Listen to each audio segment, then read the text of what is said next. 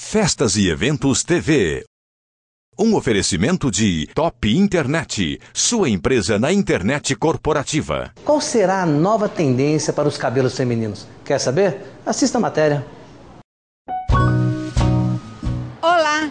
Campo Grande acaba de ganhar um espaço de beleza muito charmoso, o Salão Cristalo, que terá em seus quadros o hair design Cristiano Torres, do Estúdio W de São Paulo. A cada 20 dias, Cristiano virá à capital para atender as mulheres de Campo Grande, que, assim como as celebridades, adoram ter o corte da moda e a cor da estação. Vamos conhecê-lo?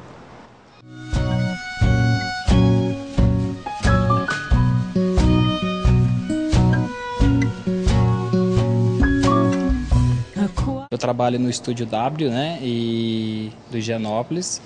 É, estou em São Paulo há sete anos, há sete anos dentro do W. E hoje o que é legal é o que a mulher gosta, tá usando cortes longos, cortes curtos, é, frisando que os cortes longos estão um pouco mais pesado e bastante leve na parte da frente, frisando a franja. E os cortes curtos, como sempre, teve em alta, os Chanels, né? Voltaram bastante, bastante leve, bastante desfiado. Empty glass, an unmade bed. As cores tá chegando super quente, as mulheres voltou de novo a usar o levemente dourado, o dourado é, bronzeado, né, que eu chamo dourado bronzeado, que é a cor do verão.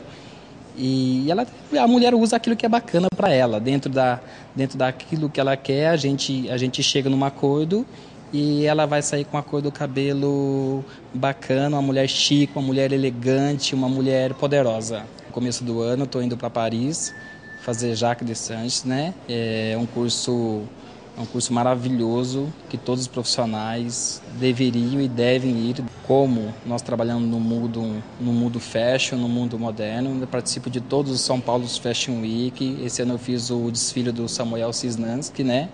Acabei de fazer um editorial com uma revista, a nossa revista mesmo do W. O Salão Cristalo conta com hair design Marquinhos, com manicure e pedicure.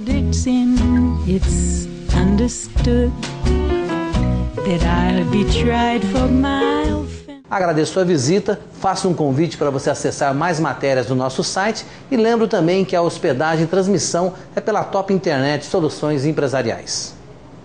Festas e Eventos TV. Há sete anos.